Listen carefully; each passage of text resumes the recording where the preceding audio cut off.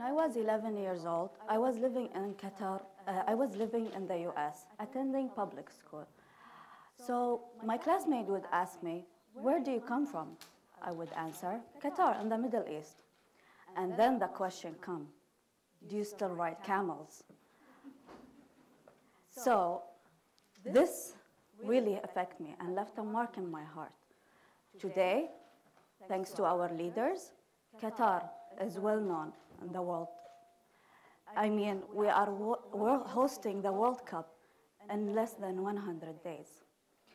So this, however, this have many concerns. One of them is how this will affect the host community. When I say the host community, I would say all of us living in Qatar.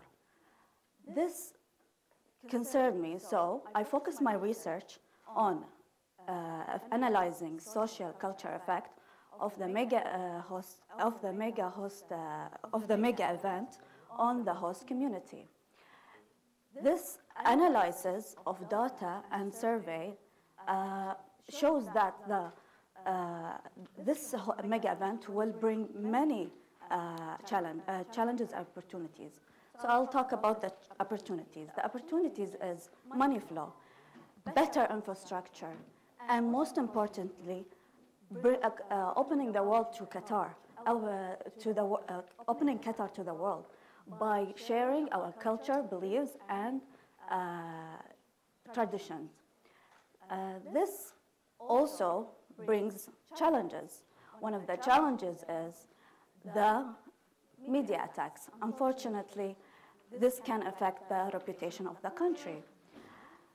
When I also, another challenge is the, um, the, the most consequences is the criminal activities. This makes us concerned. What can we do? What should we do? I mean, everyone should have concern on that. But we, I hope us, the host community, will challenge the world and will tell everyone that Qatar is, the, the world will not change Qatar. Qatar will change the world. I hope everyone will face the real, reality that we are going to leave the legacy for the next generation.